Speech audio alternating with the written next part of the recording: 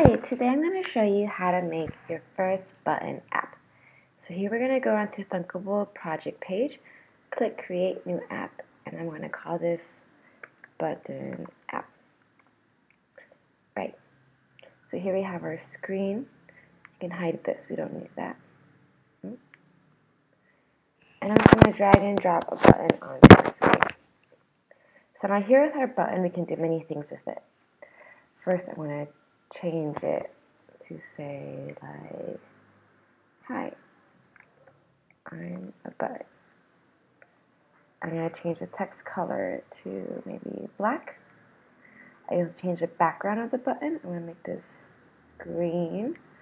Change the font size to like 30, or how about change to 20 is fine.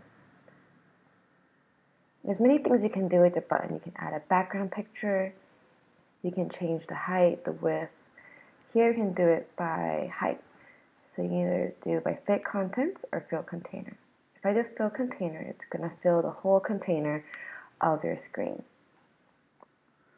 Let's go back. If I do it the width, it's going to stretch all the way to side to side. There's other things you can do, like relative size. This will be 50%, so it's only 50% of the screen. And the width, let's do, maybe I'll do this 50%. Yeah, make it a little bigger this time though, 70%. Great. You also add a border. I'm gonna make the width of this 4. And make sure you select the style of your border. You have solid, dotted, and dash. I'm just gonna go for dotted. You can also make the button a little bit round by adding a corner radius. Let's click 5 for now. You also make it quite big, like 10 or even maybe like 50 to make it a little bit rounder. Great, so now we've designed our button. So now what are we're going to do to add some code onto it, we're going to go onto this little tab here where it says blocks. Click blocks.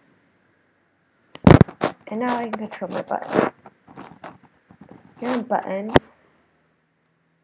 add this code block. So when button 1 is clicked, what's it going to do?